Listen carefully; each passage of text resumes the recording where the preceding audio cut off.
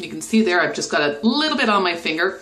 And this will literally, within the next couple of minutes, diminish about 10 years off of the look of my eyes. So I'm going to just take that little bit and uh, like I said, less is more. And you just want to dab it and spread it to get a nice, thin, even layer and uh, make sure that you are leaving it wet because it's while it's drying that the magic happens.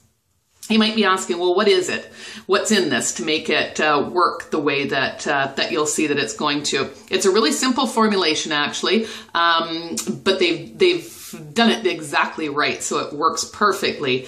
And it's about 92% water. There are two different minerals, and um, then a peptide called argireline, which um, uh, if you look that up, you'll see that they're calling it Botox in a bottle. And just while it's drying, you will see that it will shrink the bag and the discoloration. And it's just an amazing product. I was in Vegas last week and uh, if you've ever been to Vegas before, you know you don't get a whole lot of sleep and it's quite smoky there. And uh, my eyes, I was waking up with big bags under my eyes, and um, this was a lifesaver for me. So we're just having so much fun promoting this product. Jeunesse literally cannot keep it on the shelves.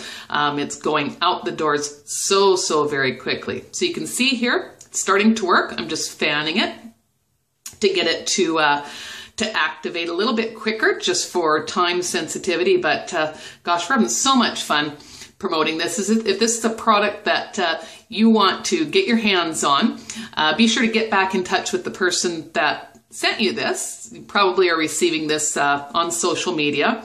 And um, it's an amazing product. So you can see bag, bag, bag, and no bags, literally uh, at least 10 years off of the look of, uh, of my eyes here. So I'm going to go out. I've been running around town, one eye done and the other one not, just to show people the great effects of this.